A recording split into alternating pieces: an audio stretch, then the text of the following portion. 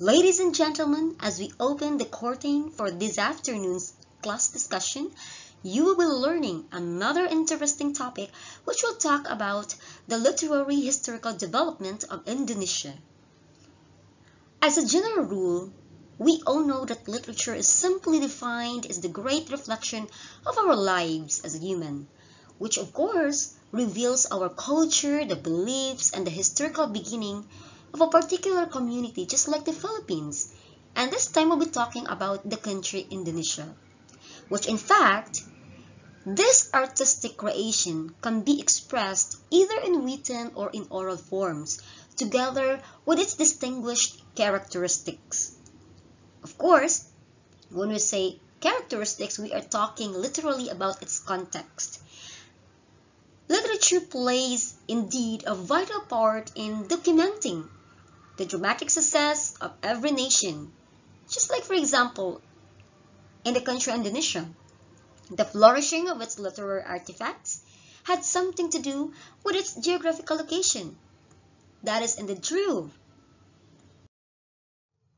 So this time, allow me to present some informations about Indonesian history so that you will be able to see the dots connecting the reasons behind the development of Indonesian literature. Now, when you look at your monitor, if you will just gonna focus on your monitor, you can see there the summarized version of these facts. Okay, you can see there that Indonesia is also called as Republic Indonesia or Republic of Indonesia in English. Knowingly Indonesia being a country located off the coast of mainland in Southeast Asia, which can be found in the Indian and Pacific Oceans, is also known to be an archipelago, just like the Philippines. However, the only difference between the Indonesia and Philippines is that Philippines does not lie across the equator, which spans a distance Indonesia, on the other hand, it glides across the equator and it spans a distance equivalent to one-eighth of Earth's circumference, making the country rank as the fourth of the most populous country around the world. Technically, it is according to the worldometer.com that Indonesia comprises 17,508 islands Yes, 17,500 islands with 33 provinces and approximately consisting of over 276 millions of residents. See? So it's very dense. It's very populated.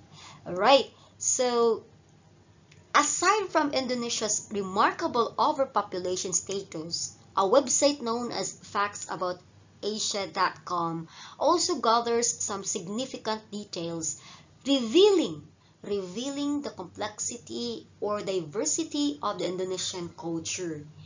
And it was also accounted that Jakarta, being Indonesia's capital city, becomes the booming center of trade, culture, and politics that, of course, attracts various or several migrants across the Indonesian archipelago, making the place or making the nation as a melting pot of many cultures.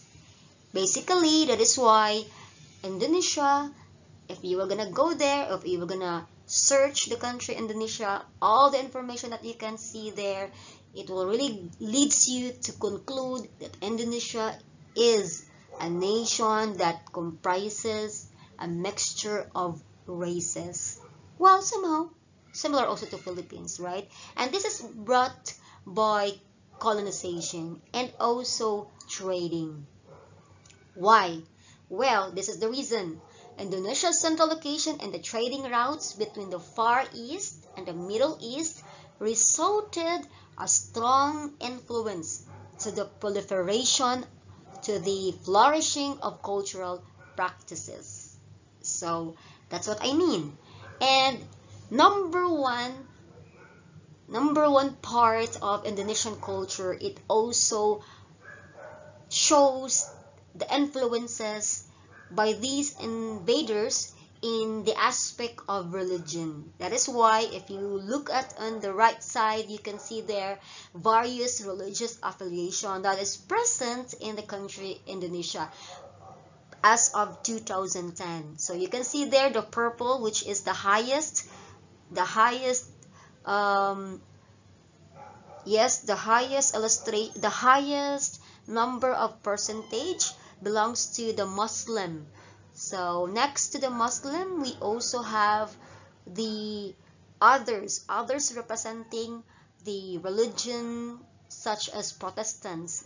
So Roman Catholic got only 2.9% and the very least goes to Hindu, so 1.7%. You see? It is really diverse, right? It's complex.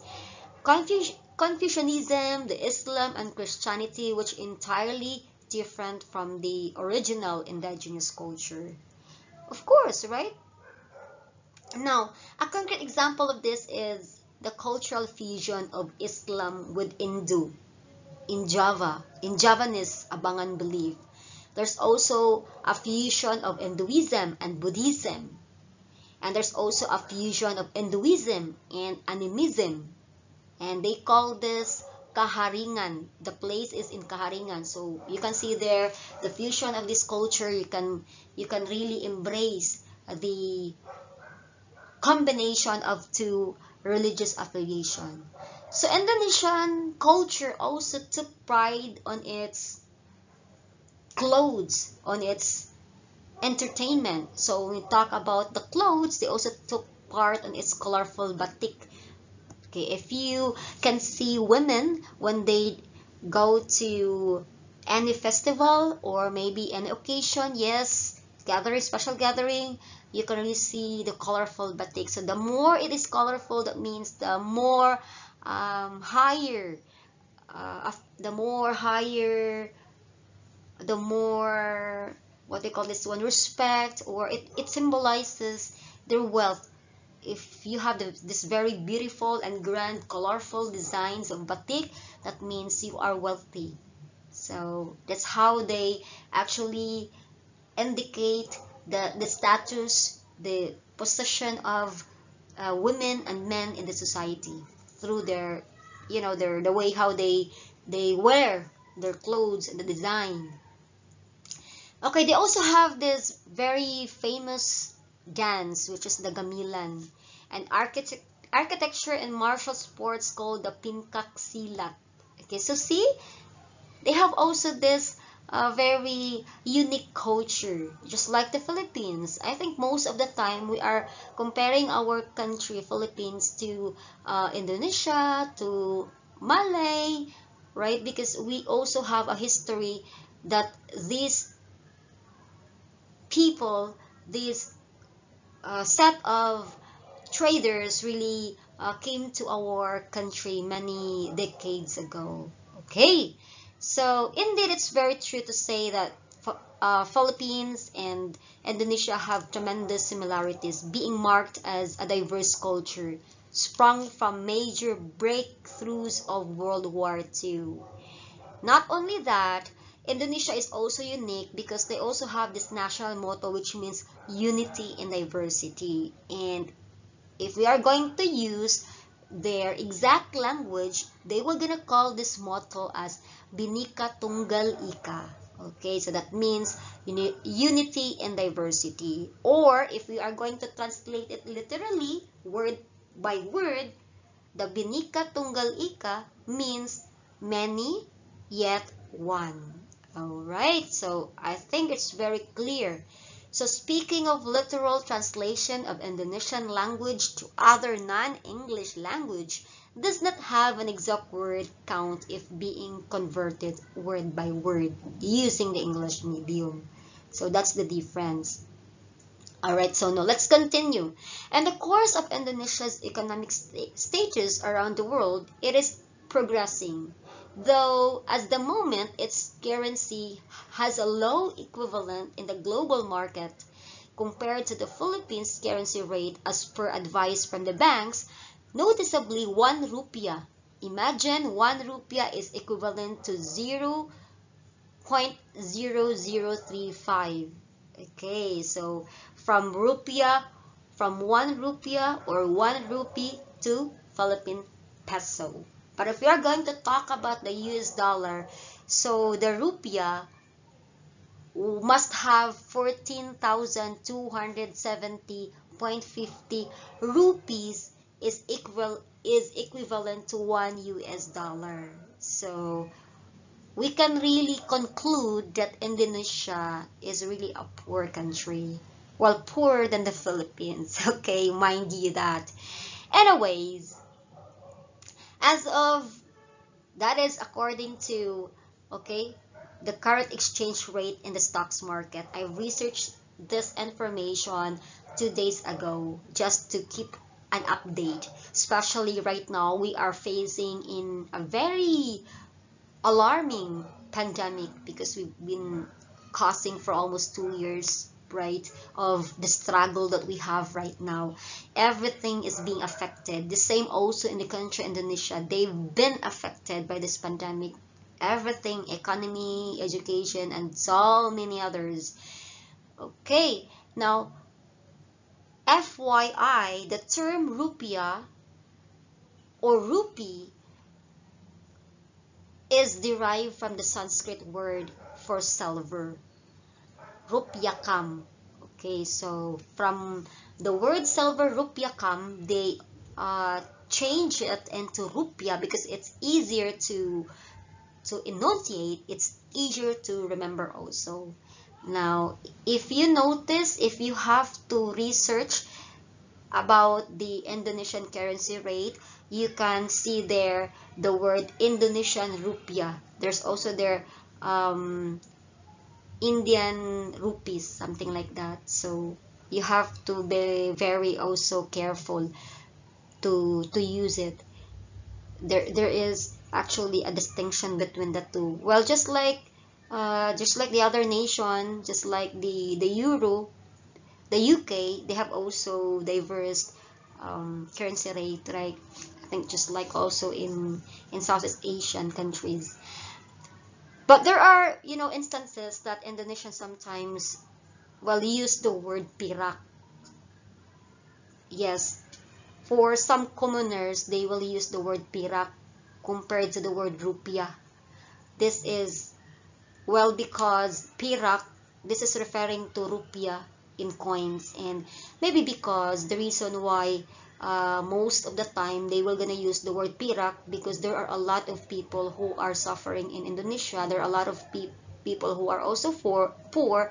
So uh, we can uh, conclude that they cannot uh, they cannot get higher okay higher higher amount of money so they don't have the rupiah so they will just use the pirak because they have a lot of coins literally. So maybe that's why they are very used to of using the word pirak compared to rupiah. Okay. Because Indonesians underwent similar fate just like the Filipinos in terms of colonization, in terms of struggling for independence, in terms of poor economic progression. So it cannot be denied, yes, it cannot be denied that the aftermath of the war causes an impactful change in their lives. And this is very true because you can see that there is a shared identity. There is a diversity and there's a presence of fusions of culture cultural practices within the the community in the Indonesian community. So this shared identity is actually defined by a national language ethnic diversity the religious pluralism within a majority of Muslim citizens so it is really true that in Indonesia there are a lot of Muslims there are a lot of um, people, there are a lot of uh, people believing in in such religious affiliation, in such uh, ethnicity. So this diversity of culture is also reflective of the country's multi-party republic.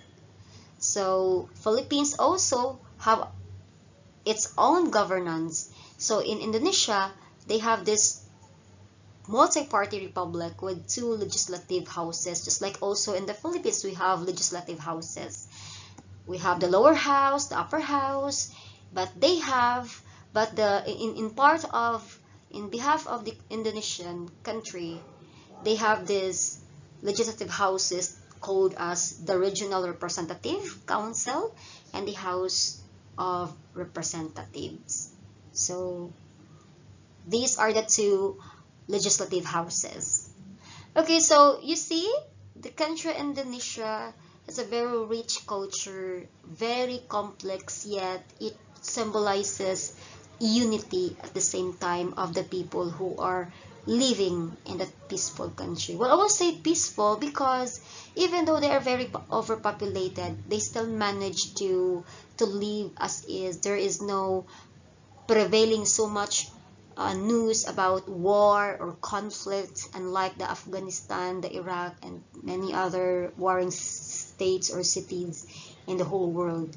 So they have this lie low issue when it comes to warfare. Okay, anyways, aside from that, um, Indonesia's challenging political buttons, its colorful practices, are being strongly influenced by multitude of religious affiliations, just like what I've said earlier, including by the Western culture in terms of, yes, the Protestants. And there are also other factor that we can see that Indonesia is also a country that never allow themselves to be being out uh, outdated. Yes being outdated. So they keep up with the gadgets with the technology. So that's why there are also modern entertainment in Indonesia. So despite the influences of foreign culture some remote Indonesian regions also value in preserving their unique ethnic groups and what are these Indonesian ethnic groups. They are the Mantawi, Mintawi, they are the Asmat, the Dani, Dayak, Turaha, and many others who are still practicing their ethnic rituals, customs, and wearing of traditional clothes. So if you can also remember in our country, in the Philippines, it's also somehow similar when it comes to preservation of the ethnic or the ethnicity or the native culture, the customs, the traditions. And I'm talking about this, the, um, the Banubu, Bagubo, the Manubus, and they're also part of like what else? There are a lot of tribes in in in in the Philippines that uh, even until this time they're also protecting and preserving their ethnic culture, their tribe, amidst the modernity of the world. So somehow I would say that we are also similar to the country Indonesia, although there are also some preferences and other differences, but as one, as a part of the Southeast Asian nation, it is more of the major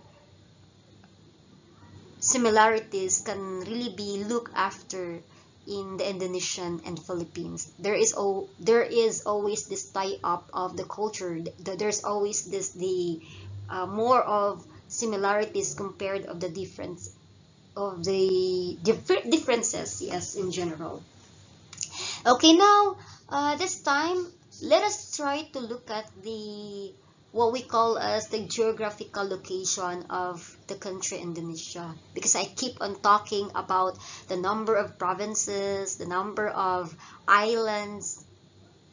Yes, so it's about time that I will present to you where is Indonesia located in the map. So we cannot travel right now. I cannot take you to Indonesia per se. I cannot lend you my magic airplane but this time I will gonna show it to you the map that will lead you to the country Indonesia can you see can you spot there where is Indonesia Okay, so I'm going to use my pen here.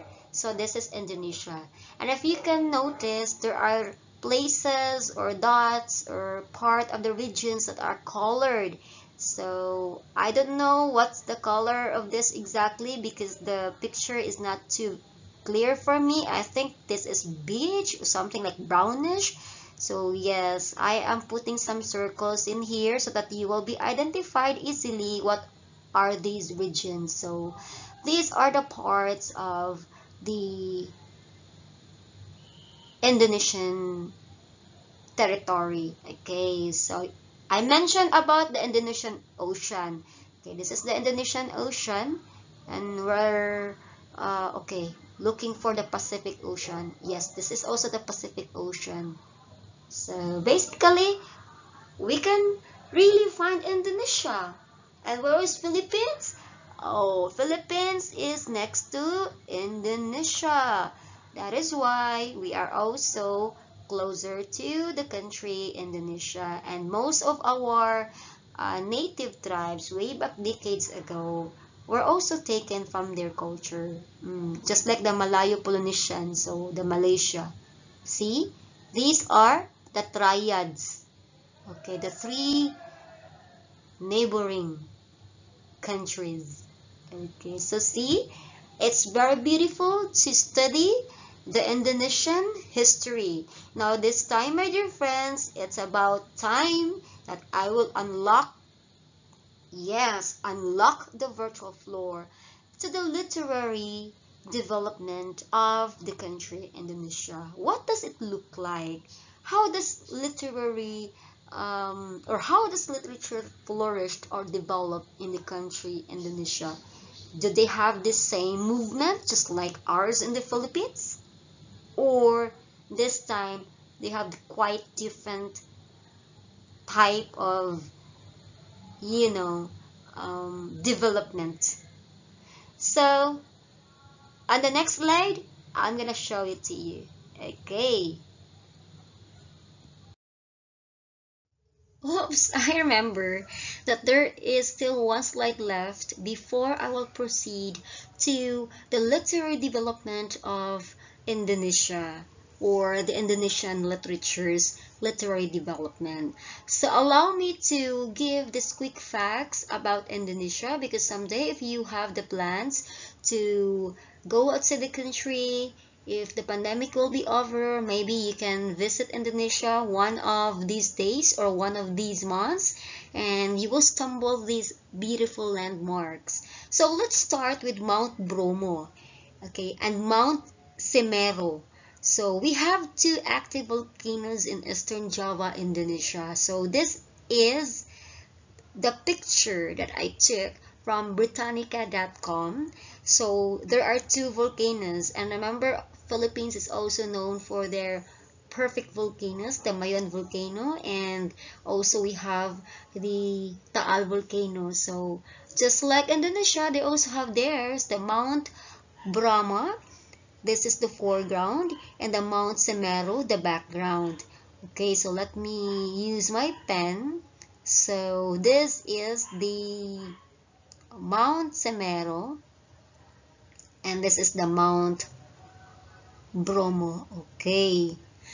We also have the Mount Agung volcano overlooking rice paddies in northeastern Bali, Indonesia okay it looks so beautiful and you know very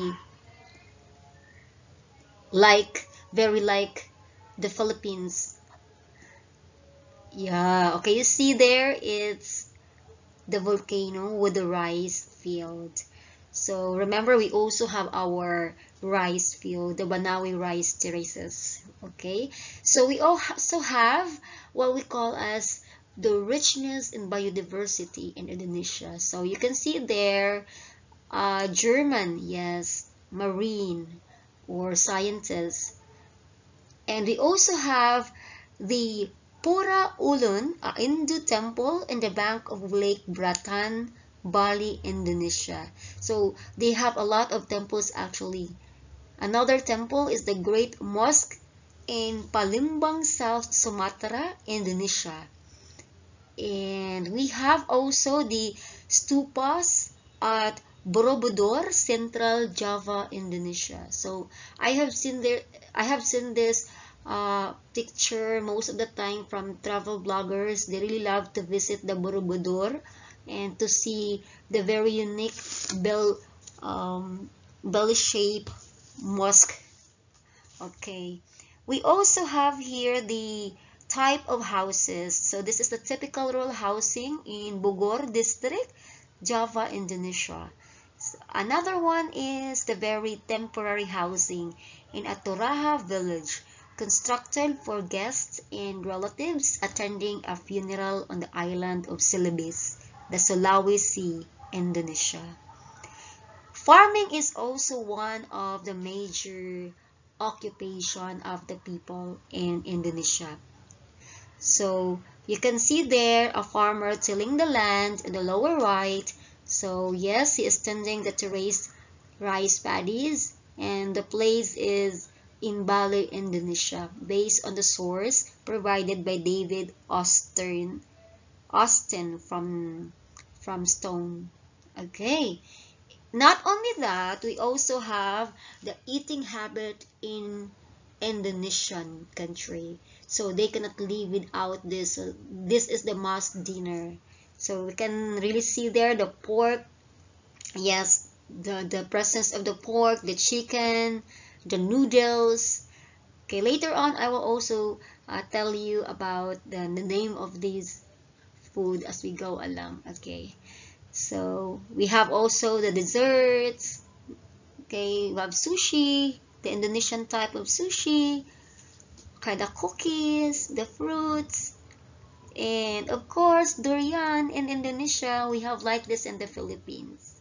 So they are so sweet. The durians are very sweet in not in Indonesia, okay? Because I'm not sure. I haven't tried the Indonesian durian, but I remember the durian in Davao because I went to Davao eight years ago, and the first uh, fruit that I tasted was the durian. So I fell in love with the durian fruit compared to the jackfruit in Cebu.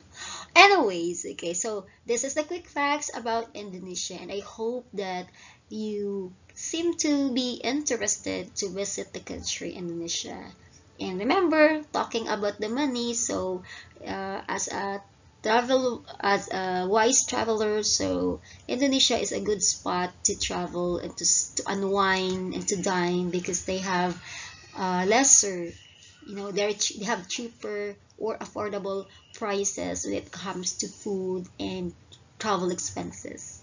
Okay so we're done with the quick facts about Indonesia.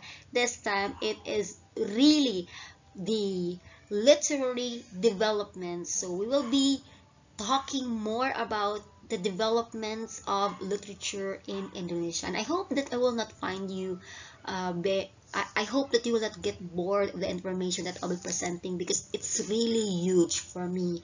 But I will make it quicker so that we can also grasp the we can also grasp the summary of my presentation. Okay, so let's jump into the literary history, the development of literature in Indonesia.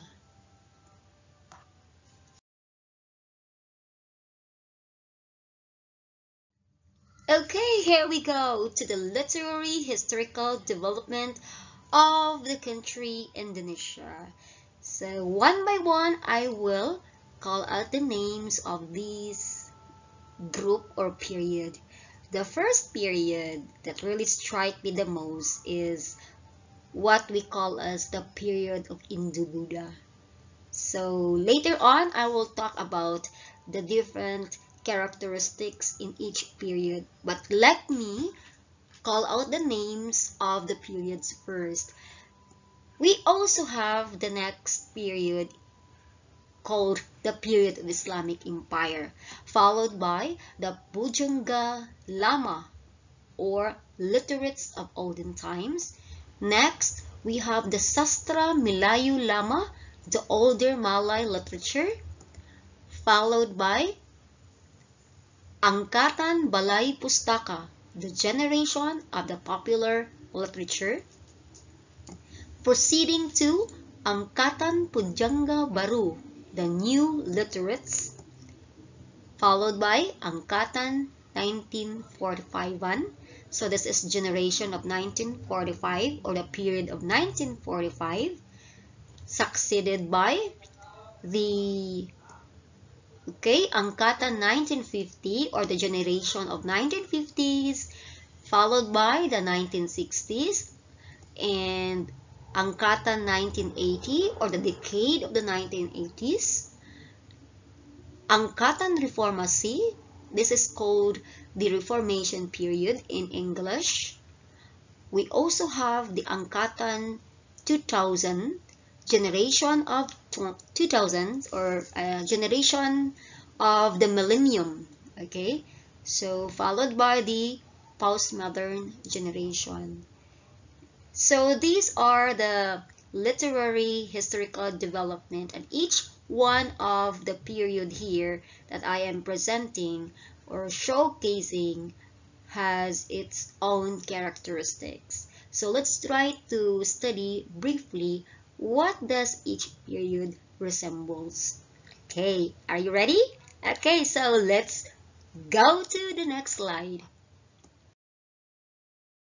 The first wave of literary development in the Indonesian literature started with the period of Hindu Buddha. This period is being characterized as the discovery of Yupa inscription that written records found in the 4th century. At that time, the writing adopted the Sanskrit and Pallava letters from India. At the same time, the poets Yes, the poets at the time began to develop their skills and literature. That is why it's so difficult to find the relic of the famous writers during the time. But I'm so lucky that I was able to pull up the copies of the old books, the old uh, collections that this period was able to document. So what are these collection of books. So we have here the Bharata Yuddha. It's an epic book, of course. We also have the Arjuna Vivaha book and the Sutasoma book. So notable writers during this, this time or this period are Pusida, uh, Panulu, Pu Kanwa, and Pu Prapanka. So we also have the last one, Pu, Pan, uh, Pu Tantular. So these are the famous writers during the period of Hindu Buddha.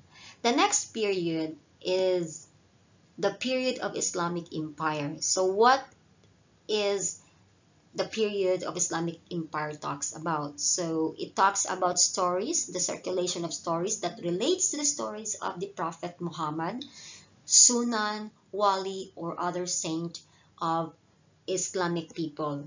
So basically, it's more of a reflection of the religious affiliation during this period of Islamic Empire. From the word itself, Islamic Empire. So the building of the Islam. So who are the uh, writers, notable writers, and the literary pieces during this period? So you can see there, Sunan Bonang.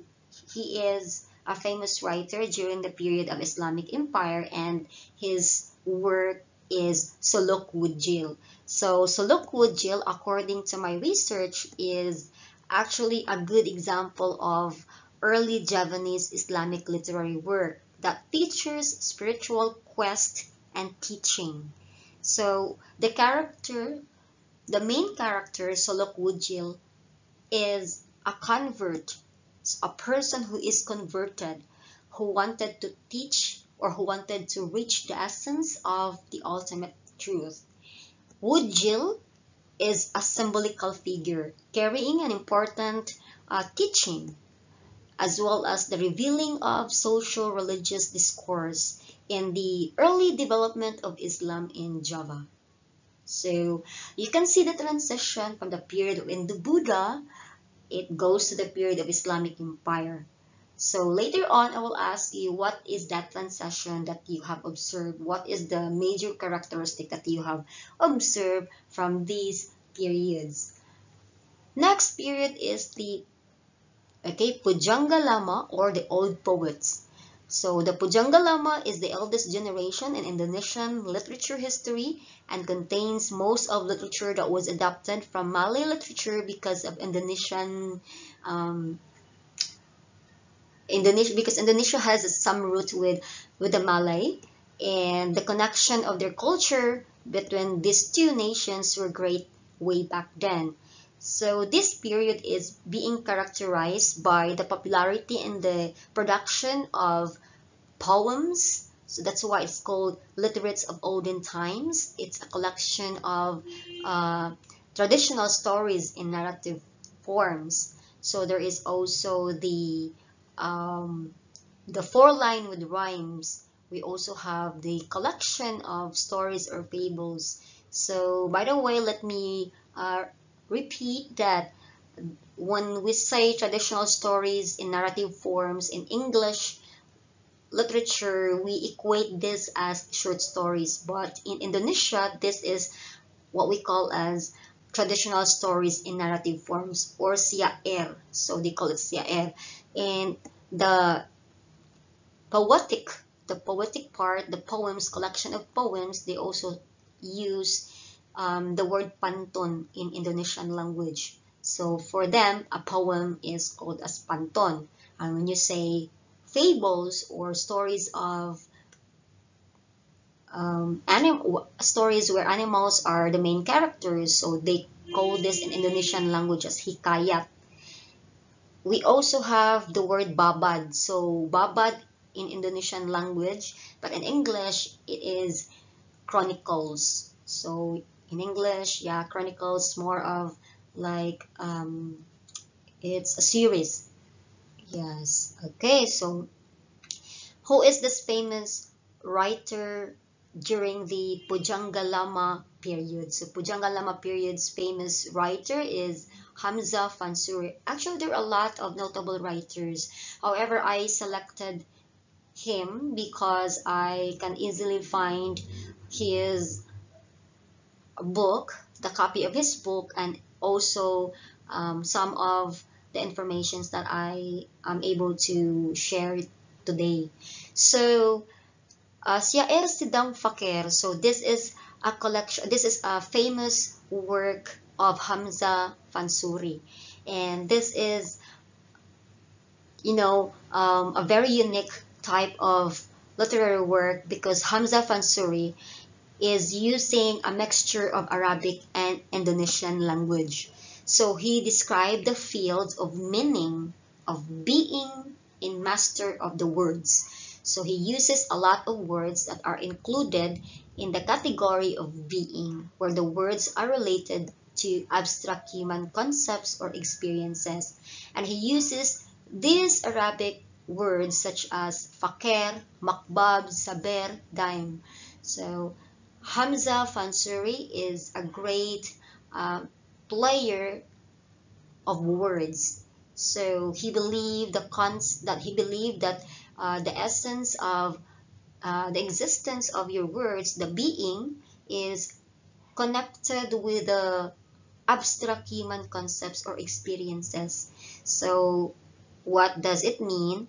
Uh, your experiences, your uh, human emotions, your human ideals must be um, characterized by the words that you use. So, for example, you, you feel angry, so you have to use a word uh, that is negative or um, it describes a bad emotion. So, that's according to him that the field of meaning of being in the Master of Words.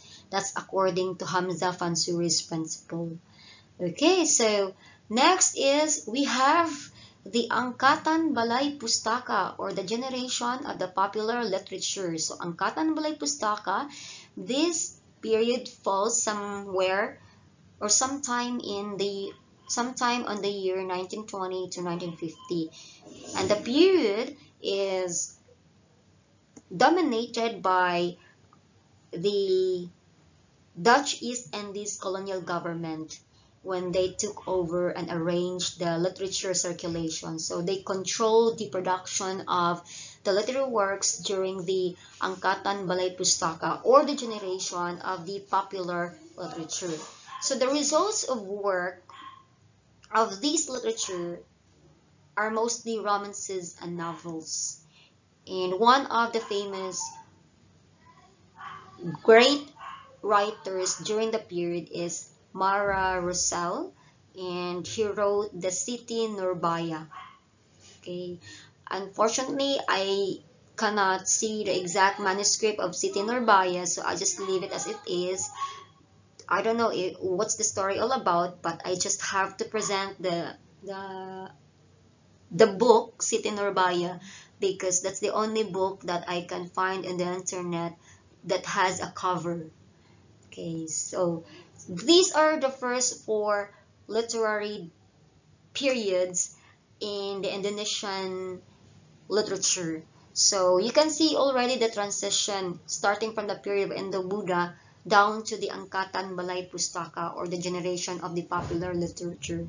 So if you can notice, starting from the period of Indo-Buddha, it is followed by the Islamic Empire. So you can see that based on these four periods, the reflection of the ref, um, the presence of the foreign um, foreign writings are also being shown or being used in this period and the play or the significance of religion is also taken into consideration uh, if you notice, during the period of Islamic Empire, Islam is being highlighted. And during also the time of Pujangga Lama, Arabic um, language is also being highlighted. And the time of Angkatan Balai Pustaka or the generation of the popular literature, uh, okay,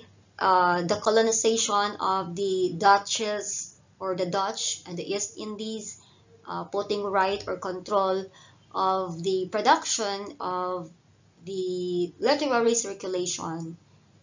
See, so these are the major things that happen in the four periods of literary um, Indonesian history or development.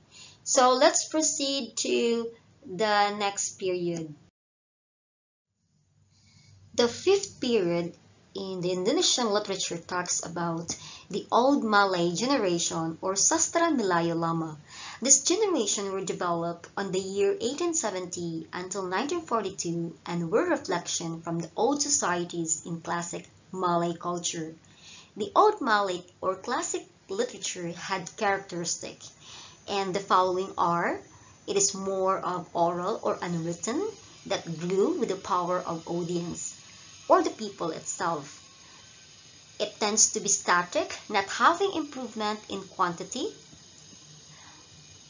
And most of the writers are held anonymous. It's centered subject about palace or kingdom. It uses cliche languages that tend to be monotone and static. And lastly, it is influenced by the Arabian culture, Muslim and Hindu. So one of the famous works of the Sastra Melayu period is the Saga of Siti Maria and it is written by Haji Mukti. There's also another one by FDJ Pangemanan Si Junat. Okay, let's proceed to the next period Okay, the next period is the Angkatan 1945 or the generation of 1945.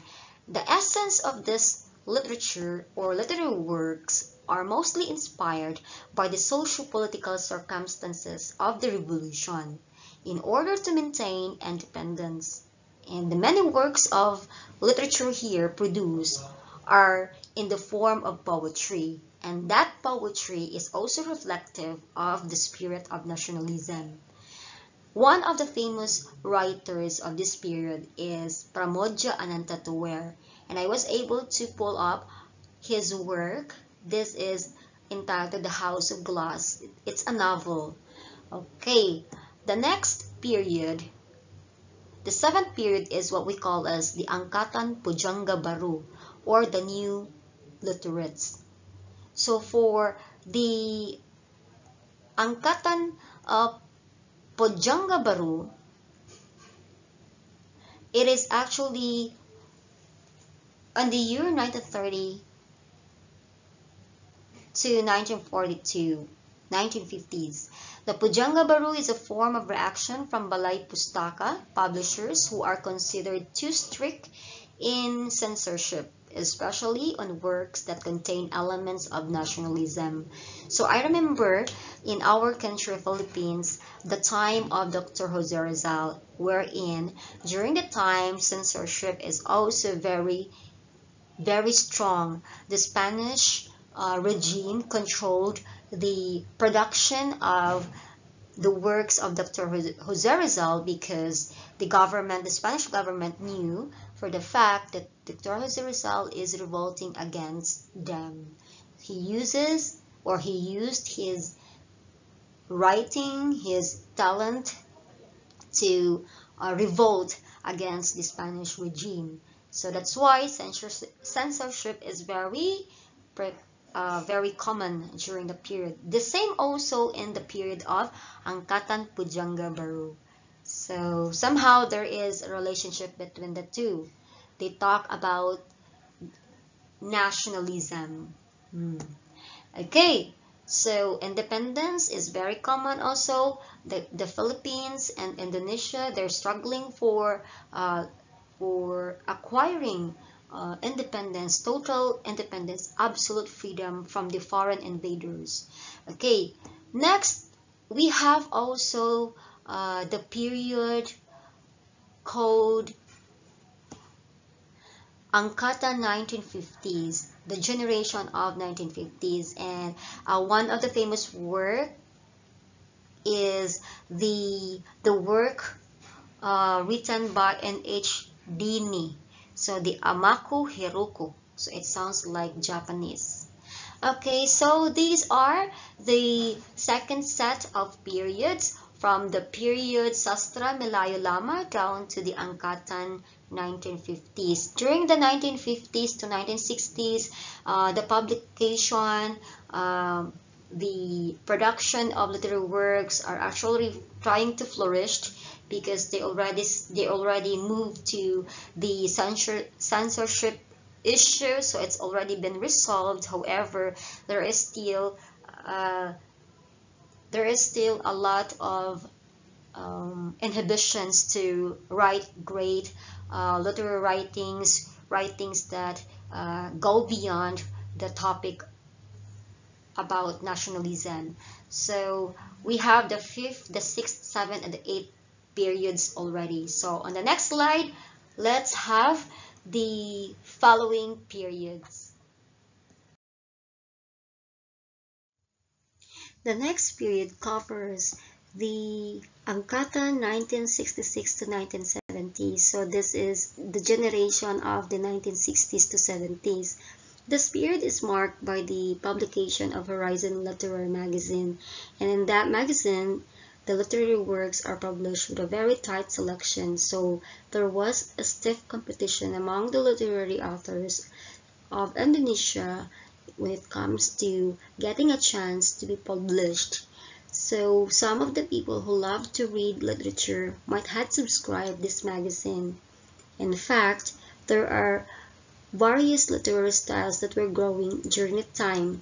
Such style focuses on surrealism and absurdity. One of the famous literary, literary writers is Taufik Ismail, who wrote Tirani dan Benteng. So you can see on his picture giving a speech so this is his gratitude talk, acknowledging the people of Indonesia who patronizes the Tirani dan Benteng. Okay, so next period is Angkatan 1980 or the decade of the 1980s. So you can see there Margaret T, one also one of the notable writers during this period, and she wrote the novel Karmila. Okay, so what the period talks about? So this period talks about the circulation of the Romance and love styles of writing. The theme are mostly into romantic, uh, the uh, romantic focus or romantic themes, and they began to appear popular novels with easy to understand light stories using a very simplified language. Okay, so the simplicity of the language is being the trend in writing most of the novel stories during the decade of the 1980s. So another period is the what we call as Angkatan Reformasi or the Reformation period. It falls in 1998 and the reform of state structures in political, social, and economic aspects has given a good chance toward the development of Indonesian literature. There are many new writers with novels, short stories, poems, and essays with various themes. So this is the age wherein new writers are becoming um, experts on their craft. They have this um, the dire need of experimenting different style of writing. So freedom of expression provides creativity in the content of the story. One of the notable writers of the period is Ayu Utami, and she was also awarded as one of the bestseller um, author in authors, one of the bestseller authors in Indonesia. She wrote Saman. And another award-winning writer is also Rusmini, who wrote Tarian, Boom, Tarian Bumi. Now let's proceed to the next period, the generation of the millennium or the millennial. So this is what we call as the modern period. Along with the shift of political power from Suharto's hands to Habibie and the rest, there was also an issue of the emergence of the rise of poetry, short story, and novels, and focusing on the theme of socio-political, especially around the around the Reformation period. So one of the literary writers is Andrea Hareta, uh, Andrea Hirata. Okay, and he wrote uh, the book The Rainbow Troops. Now, after the period of generation 2000 there comes the postmodern era this is our time and it comes up to the millennial era the literature in indonesia grows really well and there are many popular writers that the writing made even known in overseas. And one of these writers is D.B. Lestari who wrote the supernova and also the trilogy trilogy Jendela trilogy Jendela. And we have also the Sekar Ayu Asmara another writer who wrote the Pintu Terlarang okay so these are the last waves of notable writers and their works in the country Indonesia Okay, again, we have the generation of the 1960s, the decade of the 1980s, the Reformation period, and the contemporary period to the postmodern era. Okay, so I hope you learned a lot of things when it comes to the transition of Indonesian literature. And you can see also what are the different characteristics of each period because I keep on mentioning about the characteristics and also some of the uh, examples of literary pieces. Okay, so on the next slide,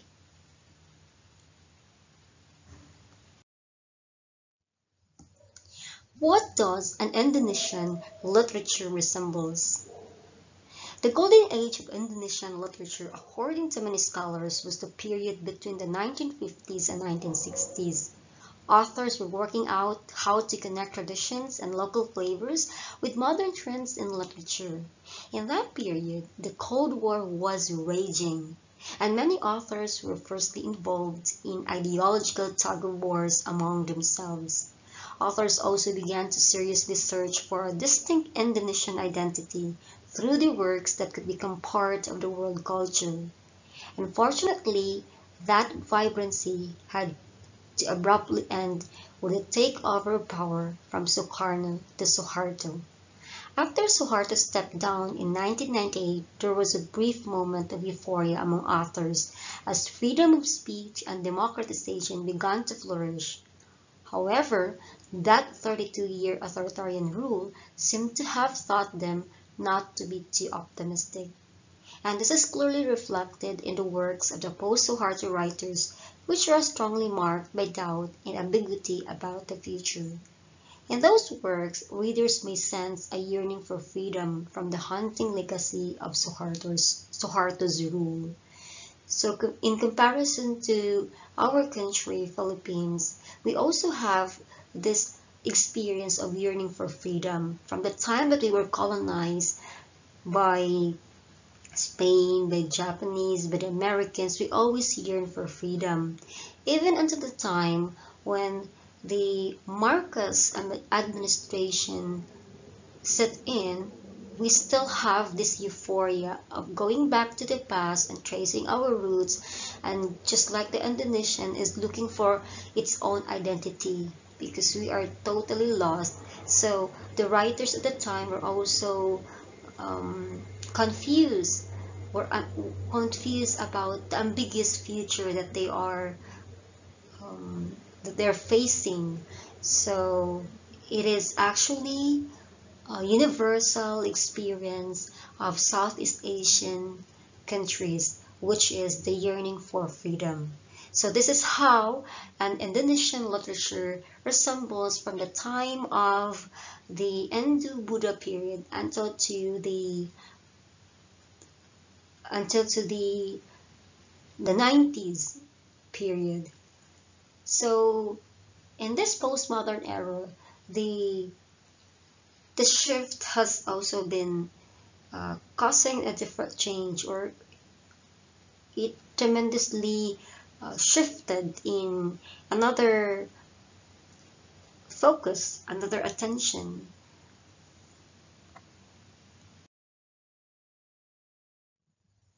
Let us focus our attention on various issues and concerns pertaining to the development of Indonesian literature.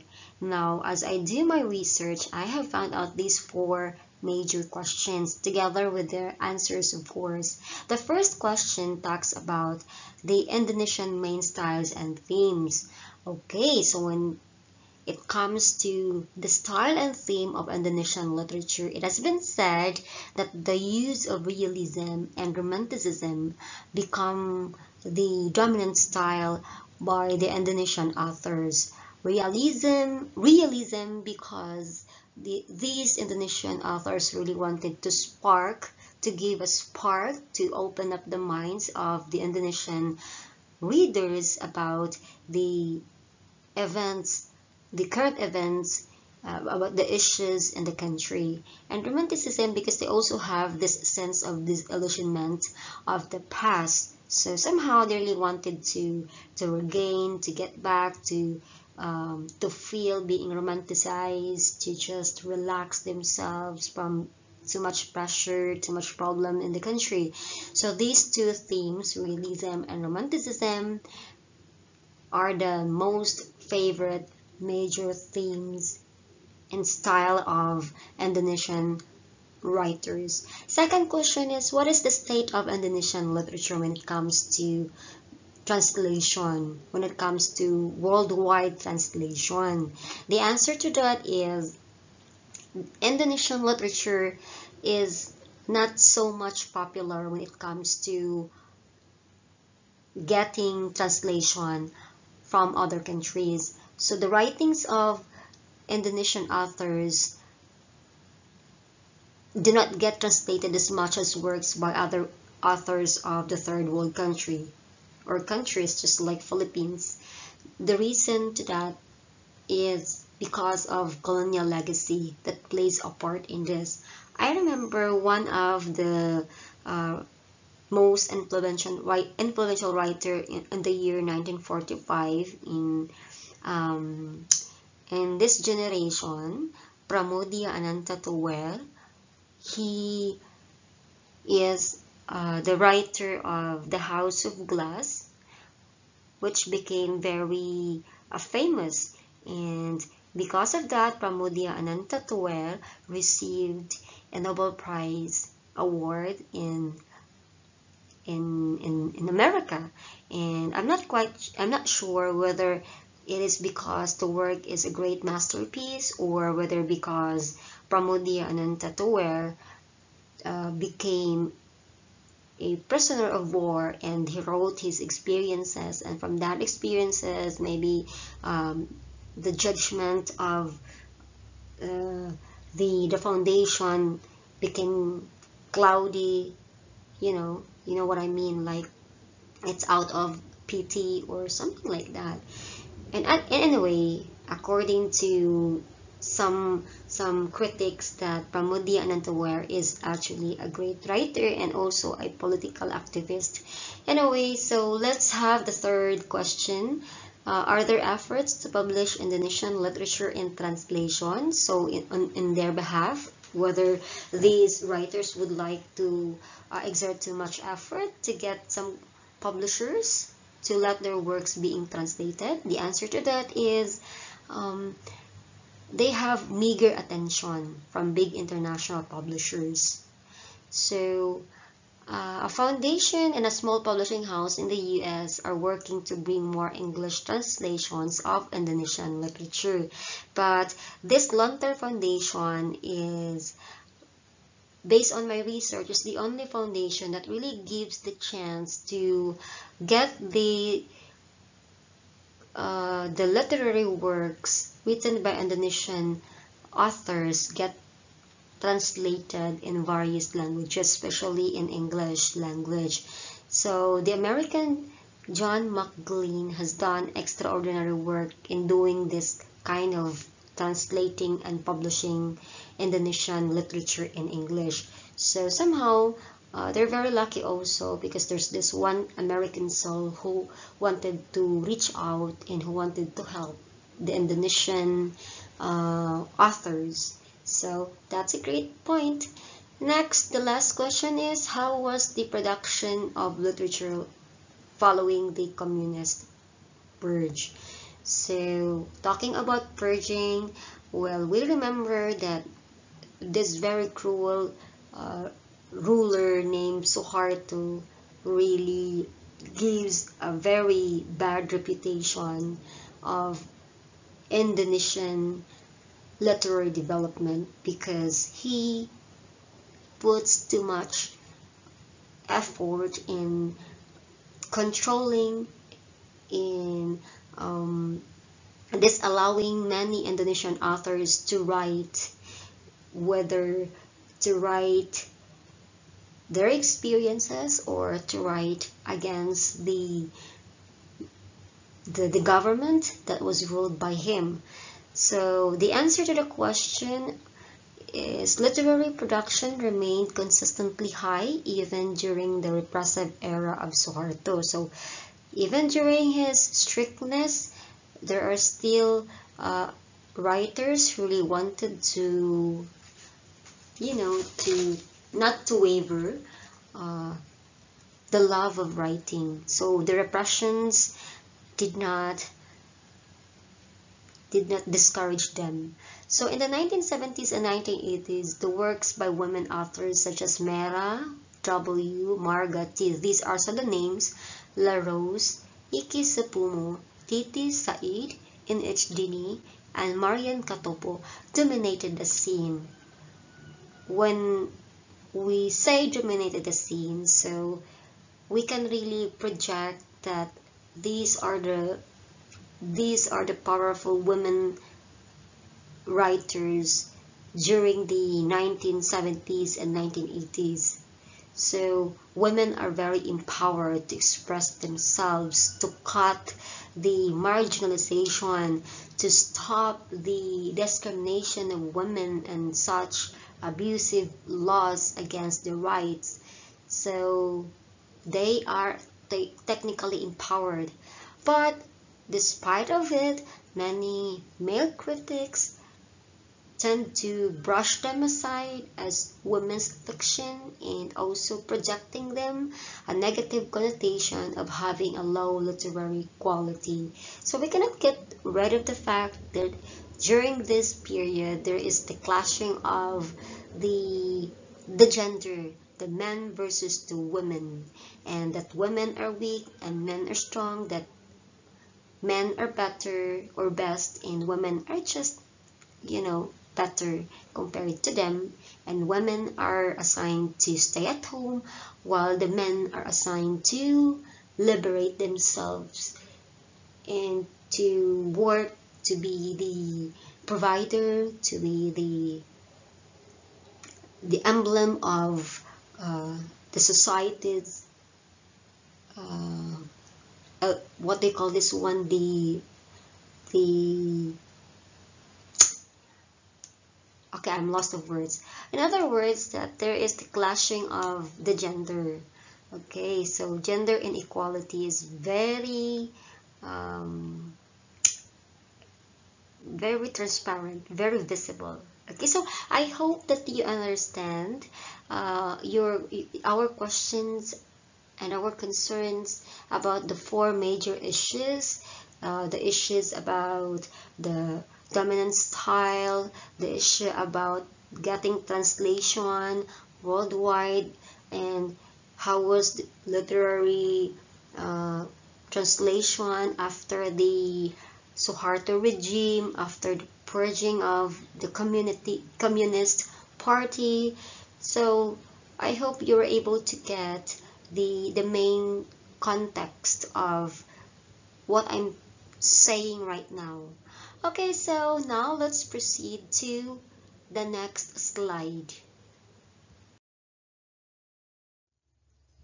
A while ago, you learned about the different literary development of Indonesian literature. Now this time, I am showcasing one sample literary work subjected for our discussion this afternoon.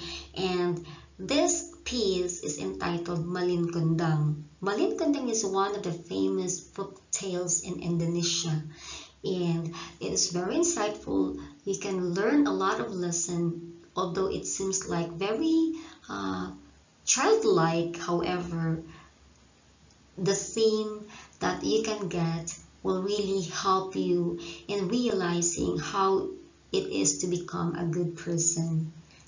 Okay, so the story started like this. He was a boy from a very poor family who lived with his mom. So Malin Kundang's father was a sailor, but he had already died.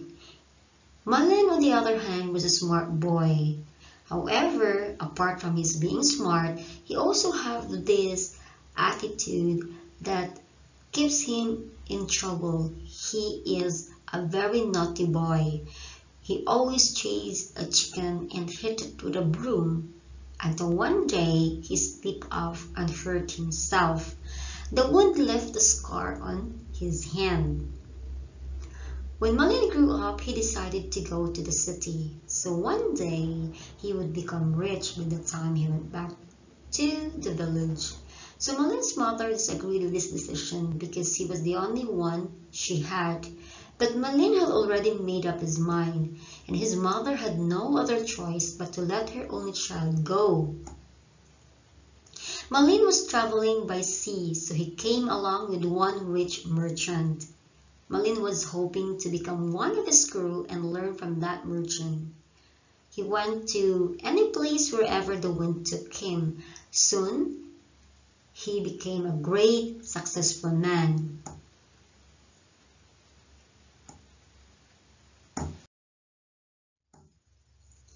Many years had passed since then Malin has become a rich merchant because of his hard work and married the most beautiful girl in the world, and he had forgotten his mother as well as the village. On the other hand, Malin's mother was getting older. She missed her child so much that she had always wait for Malin's return at the harbor every day until one day there was a merchant who stopped by the village. She knew it was Malin at the moment she saw him. What makes her so sure was because of the scar on his hand. But, sadly, Malin denied her as his mother because Malin felt ashamed to his wife and the crew. Then he left. He was gone. Malin's mother was really upset. Then she started to curse him. On his journey, Malin's ship began to shake and soon it turned into stone until now.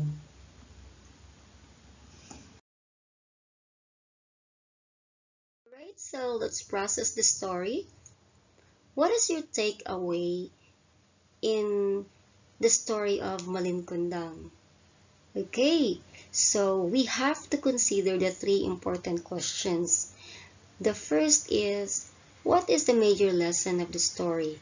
Now this is focusing about the theme. So we need to ask ourselves, what does the writer wants to teach us as a reader?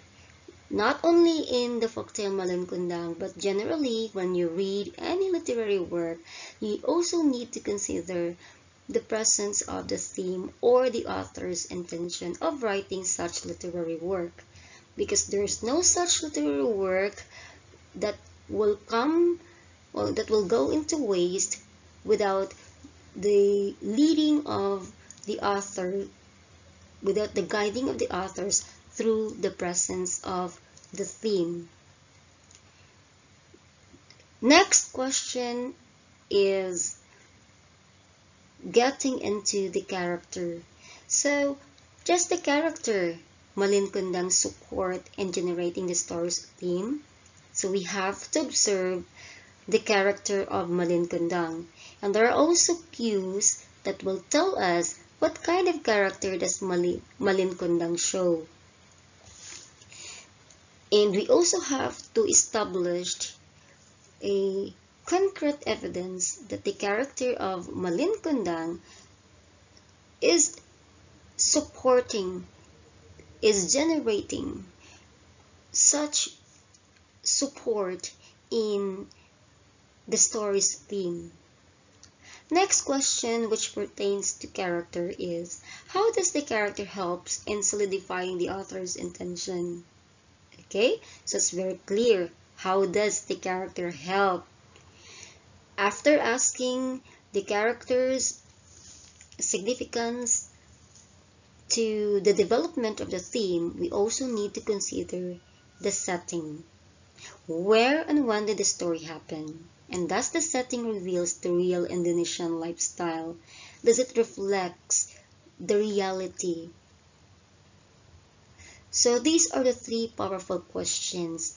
And if we are able to get our answers, then we can really tell ourselves that we get the idea, we get the purpose, we get the intention of a writer, and the writer succeeded. Because every writer has its own purpose, and the purpose is to tell something to the reader, and that something can ignite a spark, can help, can enlighten. Okay, can enlighten, can inspire the readers to do more in, in, in life. So this is the the powerful powerful questions that can help us that can lead us in in solidifying our our our learning our insights upon reading any fictional narrative okay so it's best to remember that in Indonesia Literature may be divided into several generations, and that is influenced by traditions among sailors and traders that had came centuries ago. Therefore, it is rightful to say that the geographical features also could not be separated from being one of the major factors in the development of Indonesian literature. Because Indonesia being the largest country with thousands of islands that was once a colony of Dutch in Japan for 100 years, it is very evident, it is very um, correct that we would say the rich culture of Indonesia is the product of those colonizers and how deep it became an impact to Indonesian literature as well, even up to these days. Okay, so I hope you've learned a lot of things about Indonesian culture, the traditions, and as well as the different uh, development of literature in Indonesia. Okay, this is for today and once again, this is Maria Delgado presenting to you the development of Indonesian literature. Thank you.